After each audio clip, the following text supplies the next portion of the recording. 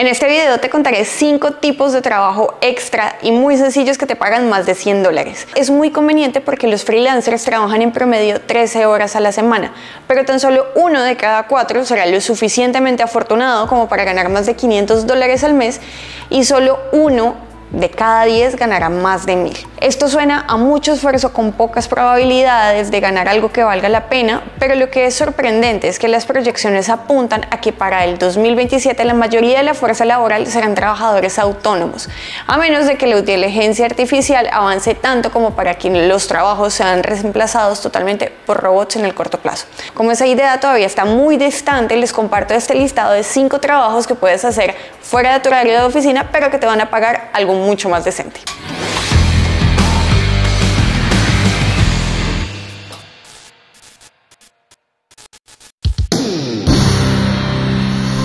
Bienvenidos a The Sigma Show, mi nombre es Juliana y si es la primera vez que visitas el canal te invito de una vez a suscribirte para estar enterado de todo nuestro contenido de finanzas personales. La primera idea es arrendando una de las habitaciones de tu casa o poner la unidad completa en Airbnb.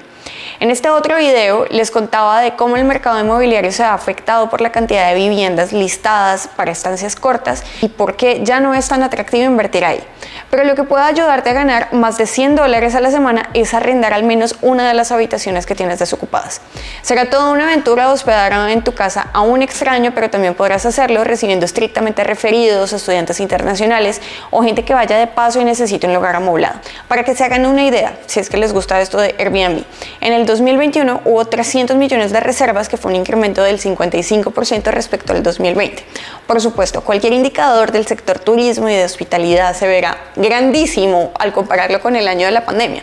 Pero el cuento va a que en promedio los anfitriones ganaron 924 dólares mensuales, siendo esta la actividad de economía compartida que más dinero deja. Es decir, de todo el gig economy, que son los trabajos esporádicos que se originan en plataformas digitales y que consisten en aceptar encargos de una duración concreta y sin exclusividad con la empresa contratante, como es el caso de Uber, Lyft, DoorDash o TaskRabbit. Son trabajos muy flexibles que puedes hacer en cualquier momento que tengas libre, pero la realidad es que si hacen el cálculo de cuánto se podría ganar por hora, no es que sea mucho porque depende de la demanda, del tipo de mercado y de qué tan conectado y activo estés dentro de la aplicación. Dentro de las economías compartidas donde hay más oportunidad de ganar es en Airbnb, pero por supuesto debe ser dueño de una propiedad o al menos contar con la autorización del propietario para poder subarrendar, pero en definitiva te dará un dinerito con el que incluso podrías vivir gratis. La segunda idea, hablando un poco de propiedades y de mercado inmobiliario, consiste en tomar fotos para las personas que están vendiendo su casa.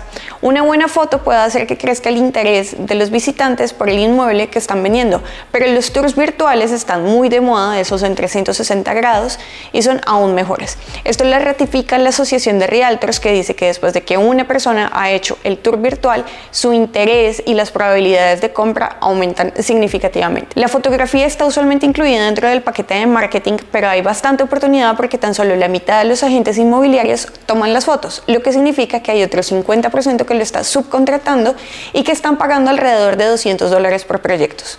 Pero atentos porque aquí hay un pedazo más. Adicional al tour virtual también pagan las fotos de la casa y si logras hacer el paquete completo podrían pagarte algo más de 400 dólares por toda la actividad, que no debería tomarte más de 4 horas incluyendo el tiempo que gastas desplazándote hasta la vivienda y el procesamiento de las fotos. Así las cosas tendríamos otra manera de ganar 100 dólares por hora, pero hay que ver la otra cara de la moneda que sería el costo de la cámara y aquí hay tantas opciones como bolsillos y necesidades. Están las más sofisticadas que podrían costar más de 3 mil dólares, pero si vas a Amazon encontrarás muchas más alternativas. No sé cuál sea la calidad ni cuánto se demoran procesando, pero hay para todos. Ahora, la tercera alternativa no tiene nada que ver con vender productos en Amazon ni con ser conductor de Uber. Es ir a plataformas como Fiverr y encontrar un trabajo de medio tiempo. Los trabajos en Fiverr son para freelancers y puedes hacer consultoría, diseño web, redes sociales, piezas musicales, edición de videos y hasta locución. Te postulas, escribes un poco de ti, fijas una tarifa y así empiezas. Ahora, si desconoces de estos temas pero tienes físicamente fuerza y energía para ayudarle a alguien a hacer un trasteo, armar muebles, colgar televisores o hacer limpieza, puedes revisar TaskRabbit. Ahí puedes ofrecer tus servicios de handyman, limpieza o incluso como organizador de fiestas y hasta te podrían pagar para hacer una fila en un concierto. Hay mucha variedad y también puedes fijar tu tarifa por hora y el tiempo mínimo de compromiso como para que valga la pena. En TaskRabbit podrías ganar hasta 48 dólares por hora y si empleas 10 horas a la semana, eso serían 1.920 dólares al mes. Para nada malo. Con eso se podrías pagar los gastos de tu vivienda. Como es de esperar, nada es gratis y la plataforma se quedará con el 15% de tu servicio, pero sigue valiendo la pena. La cuarta alternativa es ser un asistente virtual o un voto. Bueno, un asistente virtual. No es que se conviertan en un robot, pero es ser la persona del otro lado del computador cuando quieres chatear con servicio al cliente. Los asistentes virtuales hacen tareas administrativas muy variadas dependiendo de las necesidades del cliente, pero los más populares son responder y organizar correos electrónicos, transcribir documentos, agendar citas, organizar información, escribir reportes, diseño web, redes sociales y otras cosas más que se pueden hacer remotamente. Esto lo hice una vez para un proyecto específico en el que la empresa necesitaba depurar una base de datos y les cuento que fue conveniente. Me pagaron buen dinero por una tarea que me tomó como tres días cuando yo estaba en vacaciones. Estos trabajos se han vuelto muy populares y pueden encontrar cuentas en Instagram de nómadas digitales y gente que quiere viajar por todo el mundo, pero por supuesto necesitan dinero para poder pagar por sus vacaciones y su estilo de vida, así que trabajan remotamente como asistentes. Al igual que en todas las demás plataformas, debes registrarte, publicar tus servicios y fijar una en promedio, a nivel nacional, un asistente virtual gana 15,87 por hora y esa cifra aumentará en cuanto construyas una clientela estable y en la medida que tus servicios sean muchísimo más especializados. Aunque puedes hacer las tareas mientras ves Netflix, hay trabajos que pueden ser demasiado aburridos, pero bueno, por la plata baila el perro, dicen por ahí. Así que busca algo que sea de tu agrado y por lo cual te puedan pagar bien. Y la quinta alternativa consiste en hacer encuestas. Con esta no esperas hacerte rico ni que cubran tus gastos, pero sí te pueden dar unos 150 o 200 dólares adicionales por cada estudio en el que tu perfil califique. Se trata de empresas que hacen investigación de mercados y que son contratados cada vez que las marcas necesitan hacer entrevistas o focus groups para reunir información relevante a propósito de un lanzamiento para obtener ideas que les ayuden a mejorar sus productos o servicios existentes o incluso para desarrollar unos nuevos. Los grupos focales siguen siendo uno de los métodos más utilizados en investigación cualitativa porque son sencillos de hacer y permiten conocer rápidamente lo que piensan los consumidores.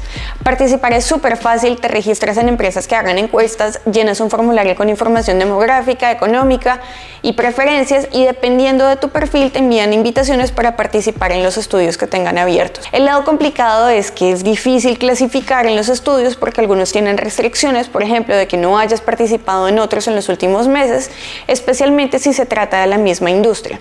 O por ejemplo, piden un perfil demasiado específico como que seas hombre o mujer que viva en cierto lugar con cierto nivel de ingresos, de formación económica, preferencias, consumos, etc. etc.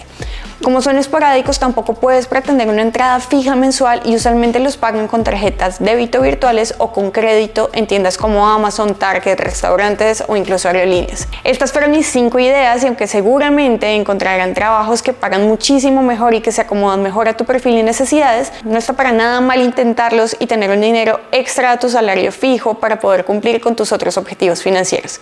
Si te gustó este video, un clic en el botón de me gusta será enormemente agradecido y nos vemos muy pronto.